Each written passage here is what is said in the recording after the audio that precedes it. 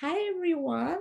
Namaste. Good morning, good afternoon, and good evening for some people who are joining us today. Uh, this is Rita Dhungel, and today we are going to share our research um, on impact of COVID-19 on service providers for people living with HIV, uh, quantitative and qualitative study. And I have my co-presenters here. Hi, I'm Sarah Rich Sendel. Hi, my name is John. Hey. My name is Sarah Thomas. Hello, I'm Bess Yang. We would like to acknowledge that we live, work, and build community on the traditional lands of the First Nations, Métis, and Inuit peoples, and express our gratitude and appreciation for all Indigenous people who live here and share their knowledge with us. We invite you to join us in our ongoing commitments to the 94 calls to action of the Truth and Reconciliation Commission of Canada and the final report of the National Inquiry into Missing and Murdered Indigenous Women and Girls. Okay, so I'm going to mm, talk about a little bit um, about our research context very briefly. Um, 100 people of um, Alberta diagnosed with HIV every year, and Alberta has the highest third, third highest rates of HIV in Canada.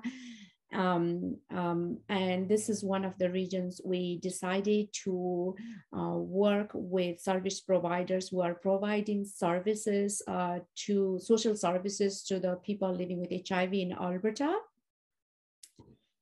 And our research um, um, objective was to address gap in knowledge about how COVID-19 affected the service providers in terms of their working conditions and personal well-being.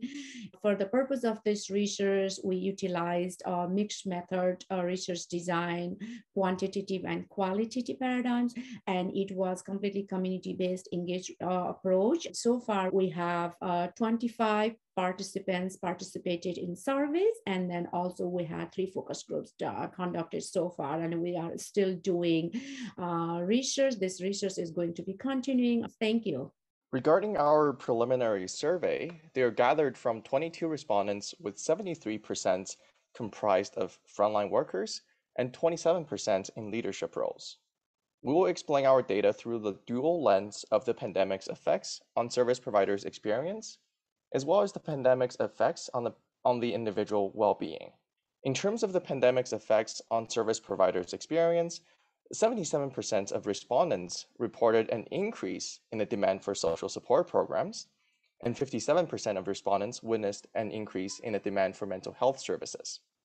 On the contrary, 82% of respondents reported a decrease in their capacity to provide social and mental health support during the pandemic.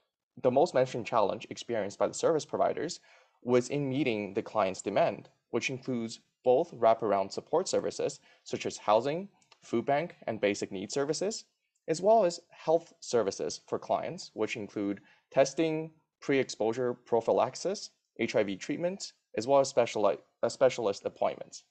The second most challenge was related to staff morale. In respect to the effectiveness of organizational support received, all respondents felt that their organization provided them with effective support to a varying extent. In our examination of the pandemic's effects on well-being, 59% of respondents reported a worsening in their social well-being during the pandemic, 55% reported a decrease in their mental health, 41% reported a decrease in their financial health, and 36% reported that their spiritual health worsened. Looking at some of the most highly reported coping skills, they include learning to live with COVID, concentrating efforts on doing something about the situation they're in, expressing one's negative feelings, as well as looking for something good in what is happening. So I'm going to talk a little bit about the preliminary findings from our focus groups. Um, and we see a lot of correspondence to some of the results that came from the survey. Uh, first of all, what was really interesting was that participants identified that COVID 19 exacerbated all existing constraints to service provision. So, what we discovered was that, in fact, um, many uh, of these organizations were already relatively precarious in terms of funding and have had to be really nimble. And COVID 19 exacerbated that. But we also heard about strengths because they've lived in a kind of precarious scenario in terms of provincial funding, staff turnover, and other challenges they experience regularly. They were able to uh, pivot very quickly and continue services um, even given uh, the restrictions that were placed upon them during COVID. Uh, in terms of uh, the working space, a lot of um, participants in the focus group described the main challenge for them is feeling very alienated um, from their work. So we know uh, from our participants that um, community and community engagement is a central part of this work, meeting in groups, communing with clients, communing with other staff. And because that disappeared, um, many people described feeling a lack of purpose uh, in their work. Um, and this corresponds to uh, some of the coping strategies and challenges that people identified. So, what we found is that our participants had a very high awareness of changes in their well being as a result of COVID. Um, and they understood well their coping needs and were willing to seek support from each other, um, both inside and outside of work. Um, and they, they really focused on trying to find healthy coping strategies. Uh, but one of the major problems was this sort of social alienation and finding that although um, there were uh, facilities for their mental and physical well being, there were less facilities for addressing this sort of gap in um, community and uh, socializing.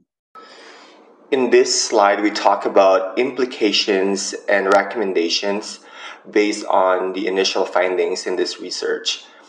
And the first one is to explore the options to continue community based services provision outdoors. Um, because sometimes we realize that one on one services do not really meet the need of some clients.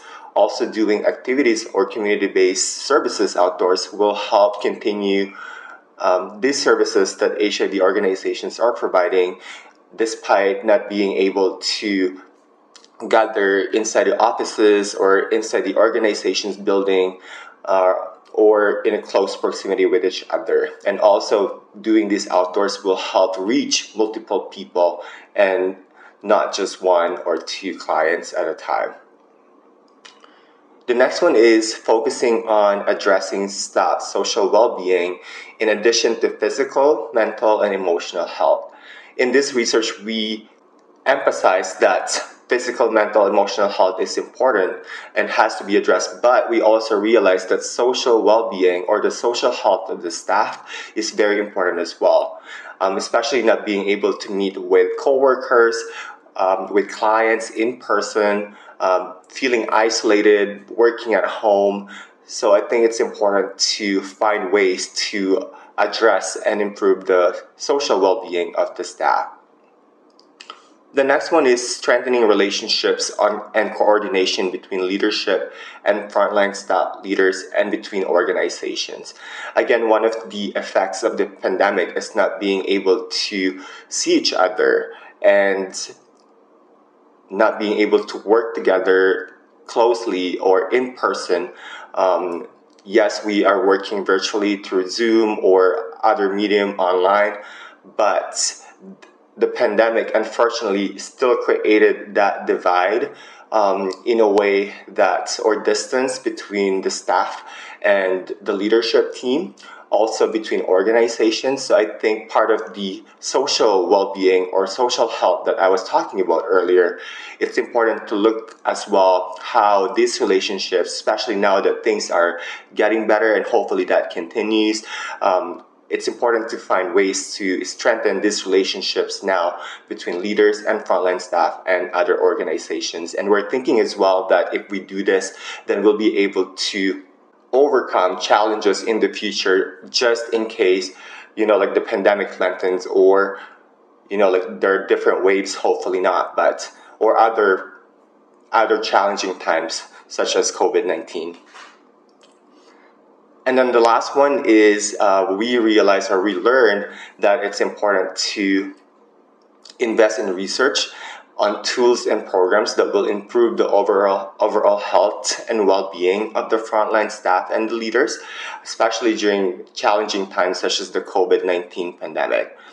We believe that if the staff, the leader, has support or are being provided this support and programs that will improve their overall health, then they'll be able to to do their roles or to do their tasks more effectively. They'll be able to work with clients more effectively.